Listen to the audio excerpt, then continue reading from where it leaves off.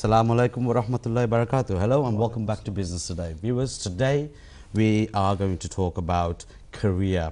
Um, it's very important because I want to be able to inspire some of our younger generation uh, by way of this show. Now, viewers, today we have three lovely gentlemen um, who've achieved um, at a very good peak of their career and we want to talk to them about how they achieved it, how they got and what they're doing.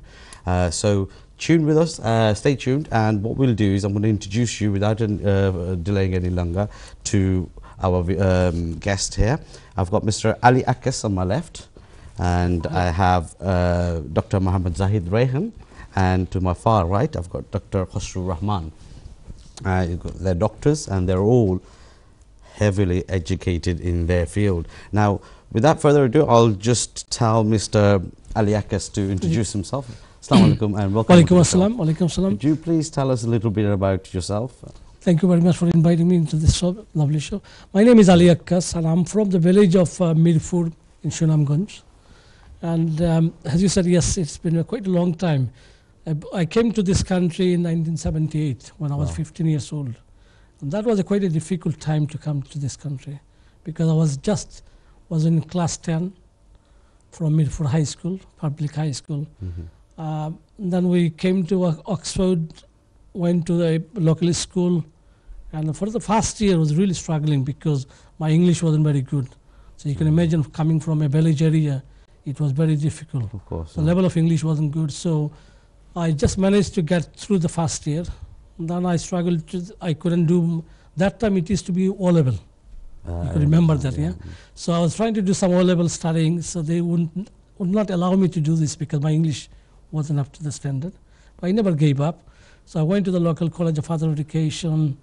Then I have to learn English for two years, and after that, gradually, I started doing my O level that turned into be GCSEs. By the That's time right, I started yeah. by actually taking the exam, it was GCSEs. And then after GCSEs, uh, I stayed with the same college, did my A level. And that time I remember there was only one another uh, Bengali student with me, was in College of Higher Education, and he came back uh, came from the, to England from the district of Habiganj, and uh, so he, he, he we are both of us were really struggling and we had so many kind of discouragement that um, I wanted to be a scientist. Okay. That was my goal. But um, because of, uh, I didn't know, my father always encouraged me to study. And he was the really driving force behind mm. What it I am today. very difficult at the time. Not many parents were actually encouraging That's right. to study. Because my father was already an established businessman. He established business in Oxford 1955. Wow. So in terms of, uh, I didn't have any kind of um, need to work.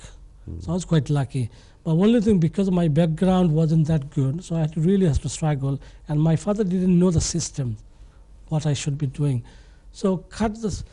I mean, after struggling, I managed to do my A level, then basically secure a place in to do a national a BTEC diploma. Okay. Because I, but my grade wasn't that good mm-hmm. for A level. Uh, you really have to get some sort of three A levels in order to get into the university. Mm-hmm. But um, I don't have any regret. So I have to study a diploma, and then I studied that diploma in North London Poly- Polytechnic, which is now, I think, um, turned into a university now. That was in 19, quite, a, quite. So that was a two years course. And this is the time that I met Dr. Aminur Khosru Rahman as well. He was in the, he just started his first year, and I just completed my first year. Okay. Uh, so basically, um, we started there, and uh, then gradually I was very lucky. After that, uh, in, in our local um, National Physics Labs in Oxfordshire called Rutherford Appleton Laboratory, which is a very renowned physics national physics lab, mm-hmm. and I managed to get a traineeship there. Traineeship. Traineeship okay. as a trainee as a computer scientist. So my career started from there. So I did my degree, postgraduate diploma, through that uh, traineeship. Then uh, luckily, uh, as you said uh, at the beginning, I also set up my own company, mm-hmm. a startup company. It didn't do well. Now I'm doing a cust- um, yeah. consultant for customer excise. I know, I understand that. Actually so I have a little bit of expertise in uh, computer science plus the business intelligence. That's my background, really. Yeah. Not as. Um, okay. No problem. I'm going to ask you a bit more question about the uh, business intelligence Okay. side of, Yeah. of things. Um, I'm going to go on to Dr. Mohammed Zahid Bayham. Please, uh, could you introduce yourself to our viewers and uh, tell us how you started? and I'm uh, Dr. at? Mohammad Jahid Rahan uh, from Bangladesh.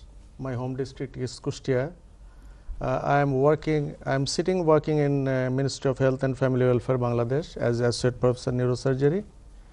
I came here to learn and observe the functional neurosurgery in first world, which uh, we have already started in our uh, country uh, for last one and a half year and uh, you will be surprised to know that the field of functional neurosurgery is solely invented and functioning worldwide by British Bangladeshi citizen Professor Tipu Zahed Aziz. Now he is still working as a senior grade professor in Oxford University. Actually, I completed my medical medical science very traditional in Bangladesh on the basis of my merit but uh, I have become interested in functional neurosurgery last uh, few years because uh, would I please permitted to explain something regarding uh, Yeah. function neurosurgery. Right. Function neurosurgery means uh, normal function of brain to function normally when it becomes abnormal. Mhm. This is function neurosurgery to make brain functioning normally. So, it covers a big arena of this neurosurgical field, but especially it confined to mainly epilepsy surgery and uh, Parkinson's disease surgery. Mm. Because these two type of disease is completely treated medically in our Bangladesh and almost worldwide even Mm. no surgical management is flourished too much or even patients uh, does not Not like Mm. like this but surgery when medical treatment is fail then surgery can take over and over these diseases. Epilepsy surgery and parkinson's disease surgery. And this is very interesting surgery. Uh, we program a patient. His MRI and CT scan we fuse. And digitally we program the depth, direction, position all these things in computer. And then we use a specialized frame set to this patient and we actually do a awake surgery. We never do anesthesia of that patient right. to do the main surgery because after implanting the electrode we ask him or her okay you move your hands whether it is tremoring or not So you need them to be moving. Yeah. Yeah. and instantly you will understand whether you are placing the electrode in right position or wrong position if wrong no problem you can reposition it so these two types of diseases are in medical terminology we Mhm. called it is a degenerative disease it will never cure like diabetes Mhm. mellitus it will never cure but if you do surgery earlier then it will halt it the progression of this disease Mhm. I'm going to be coming to this actually. Yes. Can I just introduce Mr. Khosru Rahman um, to our viewers? Uh, Dr. Khosru Rahman, could you introduce yourself and then I'm going to come on to our guest again. Yeah. Well, first of all, thank you for um, letting, letting me come on, on, on, on onto this show. I don't usually get invited uh, to these to these kind of shows, so it's always um, a privilege and it's quite exciting to, to come onto these shows. I'm a uh, by profession I'm a uh, I'm a i- uh, I'm an engineer. I'm a mechanical engineer. Um, I'm a chartered I'm a registered chartered engineer and as well as a chartered uh, mathematician. So I'm a fellow of the Institution of Mechanical Engineers and a fellow of the Institution of Mathematics and, um, and its applications. Wow. Um, I work in the aerospace indus- industry, where- an industry that I've worked for, well, I continue to work in, an industry that I've worked for over 20 years. So I've worked for um, Rolls-Royce, Matra, BAE Dynamics, and I currently work for uh, BAE Systems, where I have been for the last 20, 20 Okay. years or, or so. My area of speciality is the subject, what we called stress, vibration, and, and dynamics of aircraft systems. So basically, I'm, I'm a specialist Mhm. stress stress engineer, vibration and, and dynamics. So I look at primary safety critical systems of aircraft. I've worked on more or less um, most of the world's military Okay. aircrafts. I mean, the, the and as, as well as civil civil aircrafts. Uh, my last, well, my, my, one of my main projects to date has been working on the F-35. I don't know if you, you, you may have heard Yeah, the, F-35, the, the. F-35. So I was part of the team that developed the flight control system um, for that air, air, aircraft, which has just been uh, taken delivery by the Royal Royal Air Force of this of this Okay. country. So I've worked on that aircraft for, for, for the past sort of 20, 20 years or, or so. Okay, thank you very much. Now, um, know, um, we're going to talk more about what you're doing in your career and how, how it's happening. You're in business intelligence, um, and the way you got into IT, you know, it's very interesting, and there's something to talk about. Could you just briefly tell us if somebody wanted to get into business intelligence, um, what is it that the route that they need to follow? Right. This is all about, like, for example, as a businessman, you know that you really have to understand your customer. And you know, in order to understand your customer, you have to get data, how they interact with your business. And especially in the back end of your business as well, you have supplier, you have so many different people that you contact with. So getting that, that sort of information, how much ta- turnover you're doing, what exactly you are doing well, what is not doing well, Mm. you know, through the business intelligence, what we really provide, we provide that sort of data capturing, then allow the business to do some sort of analysis.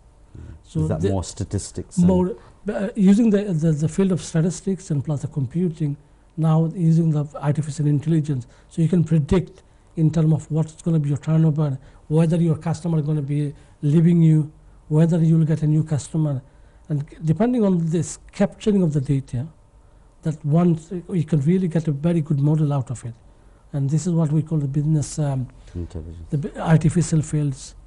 And that basically allows the business to grow. So basically instead of you not nearly sure exactly what will happen in six months time you can predict.